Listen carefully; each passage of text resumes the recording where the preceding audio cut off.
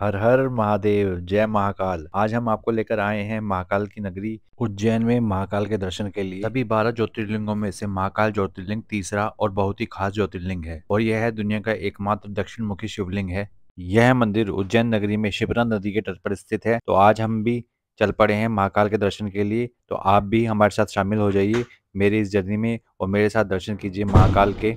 हमने अपना सफ़र दिल्ली में वाया ट्रेन स्टार्ट किया। नई दिल्ली से इंदौर सिटी एक्सप्रेस, जो दिल्ली से नौ पचास पर रात को चलती है और सुबह उज्जैन में आठ पच्चीस सुबह सुबह पहुँचा देती है। ये बहुत ही अच्छी ट्रेन मुझे लगी टाइमिंग के हिसाब से, क्योंकि इसमें सारा सफ़र रात को ही निकल जाता है और आप सुबह सुबह उज्जैन पहुँच जाते हैं। इस वीडियो में मैं आपको तीनों दर्शन करके दिखाऊँगा, जो एक नॉर्मल दर्शन है, जो एकदम फ्री है। उसके बाद में वीआईपी दर्शन है, वो करके दिखाएँगे। और जो भस्म आरती का जो दर्शन है, उसका रजिस्ट्रेशन कैसे होता है, वो सब मैं आपको इस वीडियो में बताने वाला हूँ। तो बने रहिए इस वीडियो के साथ। सबसे पहले हम जाएँगे नॉर्मल दर्शन के लिए, जिसमें हमने ना तो कोई टिकट ली हुई है, जो दर्शन एकदम फ्री होते हैं, उसमें आपको मैं दिखाता हूँ कितनी दिक्कतें होती हैं, या कितना ज़्यादा रश हमें मिलता है, वो सब आपको इसमें देखने को मिलेगा।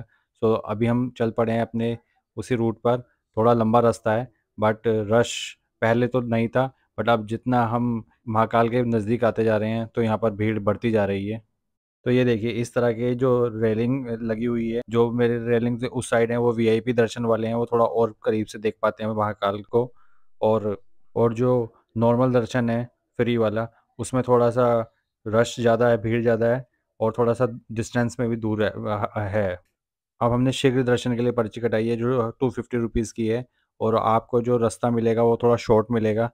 और भीड़ भी बिल्कुल नहीं है यहाँ पर तो मुझे लगता है टू फिफ्टी रुपीज़ में वर्थ इट है ये। और ये देखिए, आप महाकाल के थोड़े और भी पास आ जाते हैं और यहाँ पर भी भीड़ मुझे बहुत कम दिखी और आप दर्शन भी आराम से कर पाएँगे, जितना टाइम आपको लेना है, उतना आप ले सकते हैं। थोड़ा यहाँ पर रुक भी सकते हैं बट जो नॉर्मल दर्शन है, जो आप मेरे आप देख रहे हैं, यहाँ पर आपको वो तुरंत जो गार्ड रहते हैं, आगे भेजते रहते हैं कि चलते रहिए, क्योंकि एक जगह बहुत ज़्यादा भीड़ हो जाती है। तो मैं आपको सजेस्ट करूँगा कि वीआईपी दर्शन ही जो शीघ्र दर्शन है, वही लें। ढाई सौ रुपये की पर्ची आप यहीं आके कटवा सकते हैं। तो शीघ्र दर्शन के लिए एक अलग ही गेट बनाया गया है। आप वहीं से स्लिप कटवाइए और वहीं से आपका एंट्री स्टार्ट हो जाएगी। तो मैं यही सजेस्ट करूँगा कि आप शीघ्र दर्शन करें। यहाँ से आप आराम से आप महाकाल के दर्शन कर सकते हैं। जो तीसरे दर्शन है, भस्म आरती के, वो सुबह सुबह चार बजे यहाँ पर आरती होती है। उसके लिए स्पेशल आपको यहाँ आना होगा। भस्म आरती के लिए आपको जो महाकाल की श्री महाकालेश्वर डॉट कॉम की साइट है, वहीं से आपको बुकिंग करनी होगी। और जो बीस बाईस दिन पहले आपको बुकिंग करनी होगी, तब आपको स्लॉट वहाँ पर मिलेंगे, नहीं तो अगर आप लेट कर देंगे तो स्लॉट भी नहीं मिलेंगे और बिना यहाँ पर बुकिंग किए आप नहीं जा सकते। भस्म आरती के लिए जो रजिस्ट्रेशन है, वो सुबह आठ बजे से स्टार्ट हो जाते हैं। एक बात मैं और बताना चाहूँगा कि जो गर्भगृह के दर्शन होते हैं, वो पूरे साल ओपन नहीं होते हैं। उनका स्लॉट कभी कभार निकलता है। जैसे अभी जिस बार टाइम मैं गया था तो तब गर्भगृह के दर्शन बंद किए हुए थे। उन्होंने बोला था कि अक्टूबर में जाके स्टार्ट होंगे। महादेव के महाकालेश्वर में दर्शन करने के बाद यहाँ पर और भी बहुत सारे मंदिर बनाए गए हैं। आप यहाँ पर भी आकर ज़रूर दर्शन करें। एक चीज़ का और ध्यान रखें कि मंदिर के बाहर बहुत से लोग आपको मिलेंगे, जो आपको कहेंगे कि मैं दर्शन करा देता हूँ, इतने रुपए में फ्री में करा देता हूँ तो आप उन सबके किसी के भी जाल में ना आएँ। अगर आपको वीआईपी दर्शन या शीघ्र दर्शन करते हैं तो वहाँ पर एक काउंटर बना हुआ है, वहीं से पर्ची कटवा कर आप दर्शन करें, क्योंकि वो लोग बोलते हैं कि फ्री में यहाँ पर चप्पल रख दीजिए और आपसे प्रसाद सिर्फ़ लेना है, वो भी बहुत ज़्यादा वो महँगा देते हैं। इस तरह से आपको जाल में फंसाते हैं और आपका पूरा जो एक्सपीरियंस है दर्शन करने का, वो ख़राब हो जाता है। तो उन सब लोगों से बच के रहें।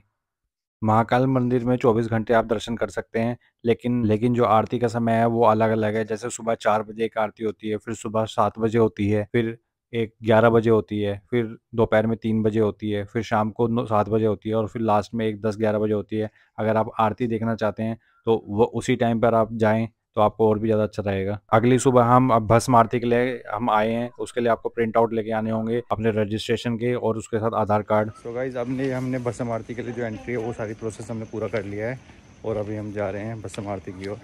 और मैं कोशिश करूँगा कि हर तरह की वीडियो बना पाऊँ यहाँ पर। जहाँ तक हम पहुँचते हैं, जहाँ तक ये अलाउ कर पाएँगे मेरे को तो मैं सारी वीडियो आपको दिखाऊँगा। भस्म आरती के लिए मैं आपको सजेस्ट करूँगा कि सुबह एक या दो बजे का स्लॉट बुक करें, क्योंकि जितनी जल्दी आप आ जाएँगे, आप उतना ही आगे लाइन में आप लग जाएँगे। क्योंकि मैंने जैसे तीन चार बजे का स्लॉट बुक किया था, क्योंकि और यहाँ पर जो पूजा है वो चार बजे के बाद होती है तो हमारा नंबर बहुत ज़्यादा पीछे आया था।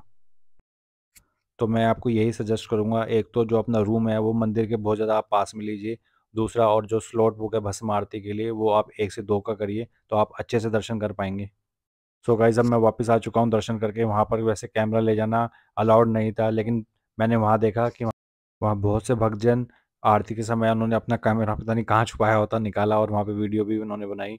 हमने तो अपना कैमरा एक्चुअली सबमिट करा दिया जमा करा दिया था, लेकिन बहुत से लोग कैसे भी करके मुझे नहीं पता किस तरह से अपना कैमरा लेके गए हुए थे वहाँ पर मोबाइल अगर आपके मन में मंदिर के दर्शन से रिलेटेड कोई और भी सवाल है तो आप मुझे कमेंट में पूछ सकते हैं, मैं आपको कोशिश करूँगा सबका